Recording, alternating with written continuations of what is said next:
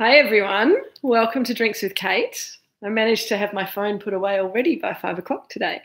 Um, the lighting is so interesting in this room. I keep changing spots because I can't work it out, but it's supposed to be here on the Mornington Peninsula raining and overcast. And right now, as you can see, the sun is streaming in the window. I'm beautifully side lit.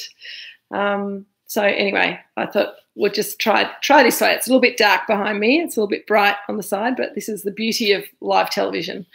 Uh, welcome to Tasting with Kate. Now, I wanted to, before I forgot and before I got into the tasting, I had a few, and my phone's buzzing at me already. Um, James Hine, you're a very bad man. Uh, I just wanted to let you guys know if you're as technologically inept as I am, which is which is pretty inept. Um, I, I, I would not have a clue how to log into this, but I have been given advice. And so if you're having trouble logging into the actual live chat, you can um, sign in with your Gmail account is the easiest way to do it. If it's still not working, um, or if you don't have a Gmail account or you don't know what a Gmail account is, don't worry, just open a glass, open a bottle of wine, pour a glass, sit back, relax, enjoy the chat without even feeling like you have to engage. It's wonderful. Um, so today, we're going to be tasting some Pinot Gris. Again, you'll say, oh, we did Pinot Gris last week, how boring. But it's not boring, it's really exciting because this is a completely different Pinot Gris.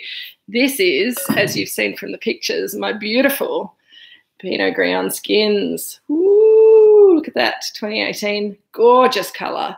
It's particularly lovely when the sun shines through it. Now, how on earth do I hear you ask? How on earth do we get this sort of color in Pinot Gris? And I had, I actually had a friend who's a master of wine ask me um, from South Africa, asked me about uh, Pinot Gris that are this this sort of color, and she said surely they must put a bit of Pinot Noir or something in there to color it up. But this is actually 100% Pinot Gris.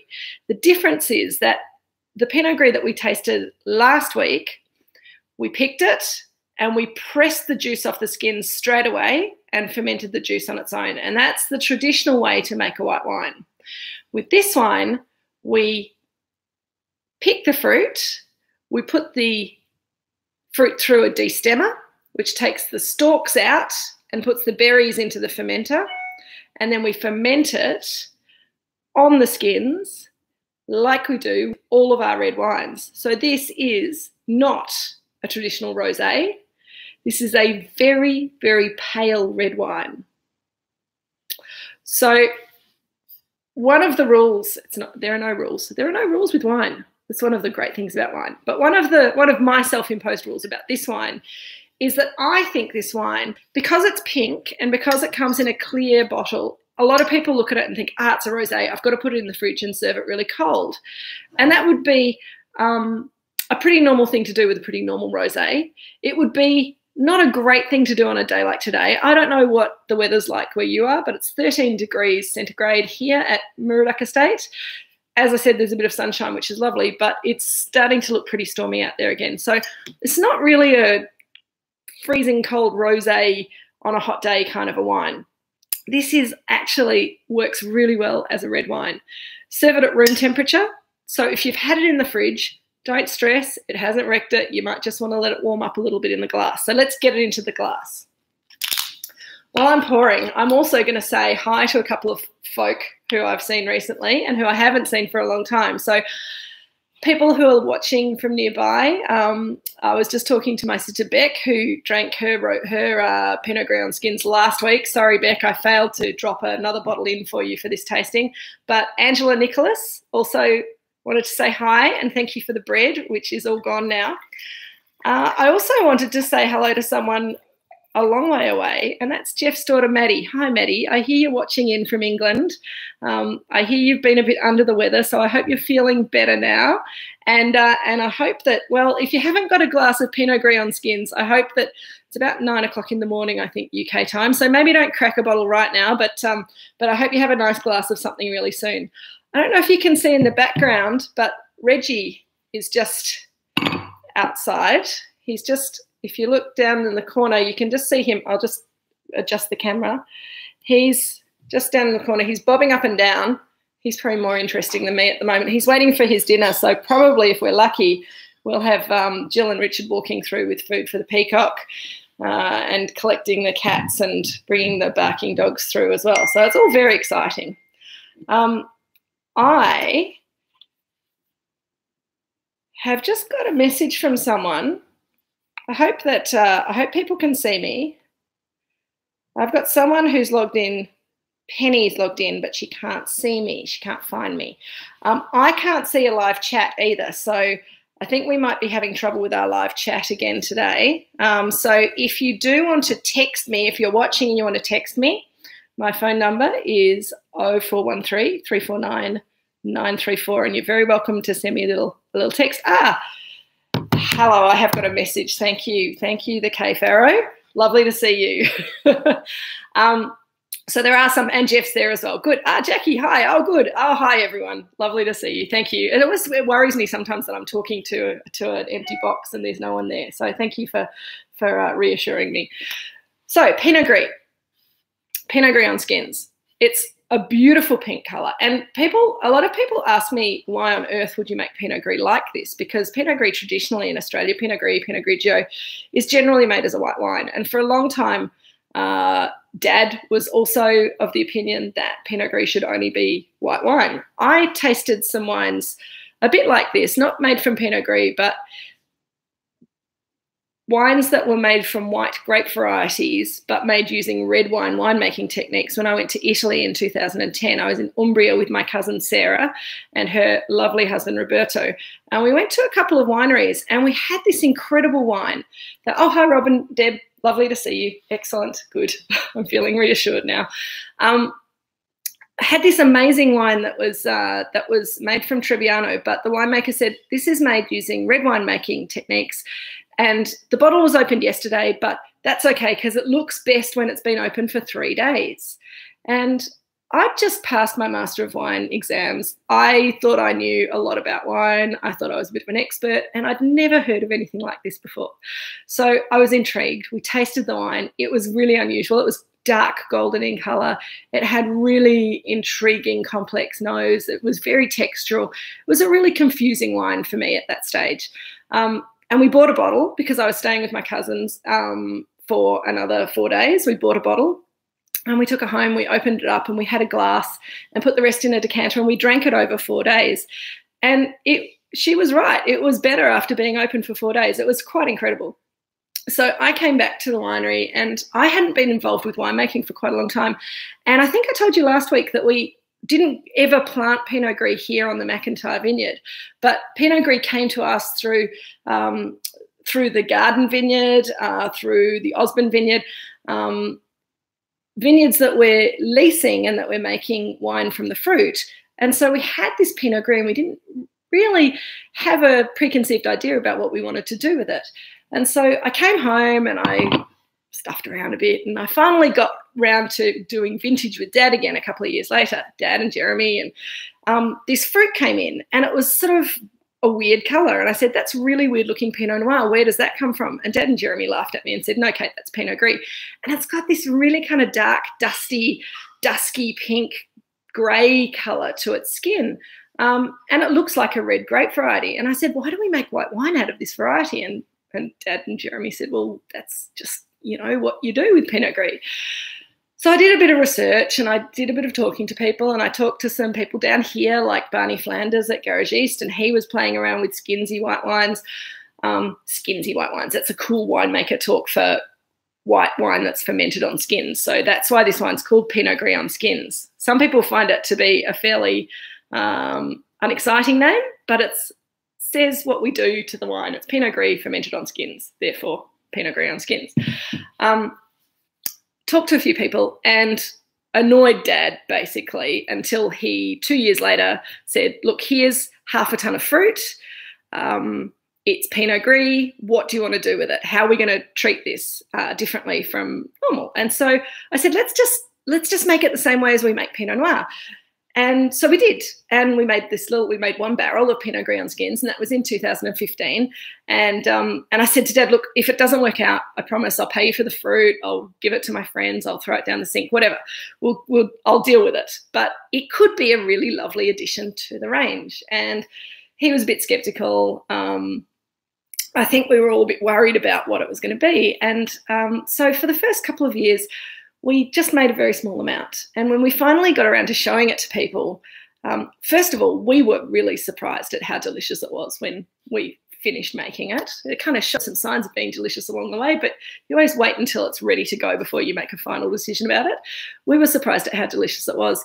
And we were really um, amazed at the reaction that we got for this wine from the rest of uh, from from the rest of the people that we showed it to, and so it was the beginning of a of a new era for Moorooduc, making um, almost a people talk about natural wines and orange wines and all those kind of things. And we don't really we we don't really put ourselves in that bracket because we do like to use a little bit of sulfur in our winemaking never more than we need to but you know, small amounts. We don't like to you know we, we like to make sure that the wine is delicious and is protected from the elements and from becoming vinegar because that's what wine wants to be. It wants to be vinegar. And what we're doing is helping it to stop before it becomes vinegar and stay as something that's delicious, has some alcohol in it, but also hopefully smells and tastes yummy too.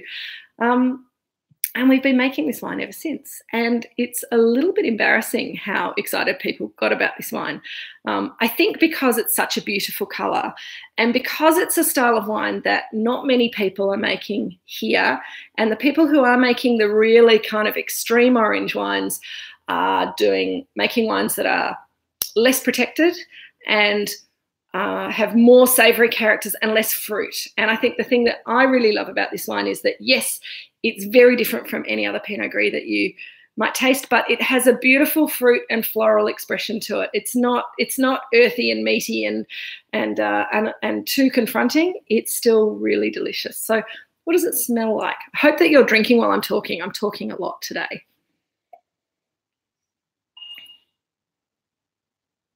Ah, my pleasure, pocket full of. Who are you? Pocket full of shell. Lovely to see you. Enjoying the wine with garlic and parmesan chips and a triple brie.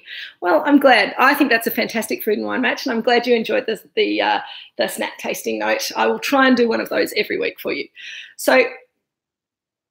On the nose, for me, it's got this beautiful rose petal, slightly violet floral aromatic to it. There's some pink ginger. There's um, there's almost some ginger flower in there. It's really, it's really lifted and perfumed. There's a little bit of rhubarb. It's quite intriguing. And on the palate, it's got lovely fruit. It's unusual and surprising because it's got that tannin grip that you expect from a red wine, even though it looks like a rosé. And that lovely, almost um, it's a crunchy, rhubarby, strawberry fruit character, which is a little bit sweet and a little bit savory, a little bit herbal, and lots of yummy things going on that for me makes it just the most delicious wine to sit and sip and keep uh, enjoying um, just as it is.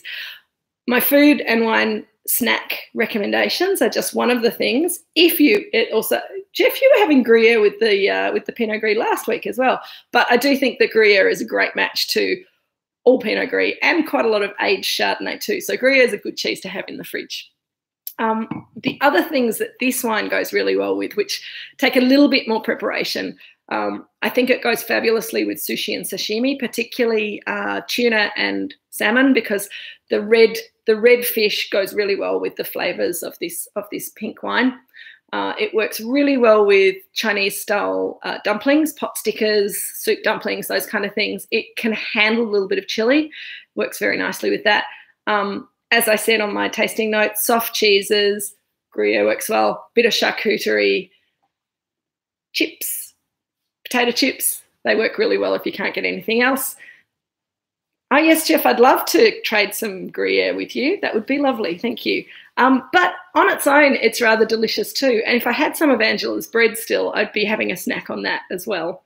Um, I think the, um, the the sun is the sun is still starting to come down. There's Jill in the background feeding, going to feed the bird. Hello, Jill. Hello, we'll let her have a drink after she's finished working. Oh, Susan, nice to see you here. Anyway, that's okay. Um, I thought I did send out the email link, but it might have got lost for some people. uh, it is yummy on its own, and it's and it's a wine that it changes in the glass. So you know, if you've got a little bit of time this evening, once we've once we've signed off, you can just sit, warm it up a little bit with your hands, and see how it changes as it warms up. Um, swirl it around, get some air into it, enjoy those beautiful colors, and you'll notice as well if you've got sunshine where you are, it's not it's not quite as clear as some wines are. And that's because it's a red wine. So it's got some tannin in it and it's got a little bit of sediment in there.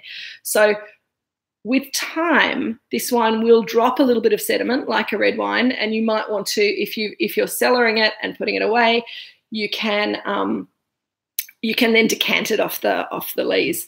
Uh, Jackie wants to know the alcohol. It's says 13 and a half on the bottle, which I'll let you in on a secret. That usually means it's about 14%. we have a leeway of about half a percent. And when we do the measuring, when we get the labels printed, you just never quite know exactly where you are. But with the Pinot Gris, it's usually about 13 and a half to 14%.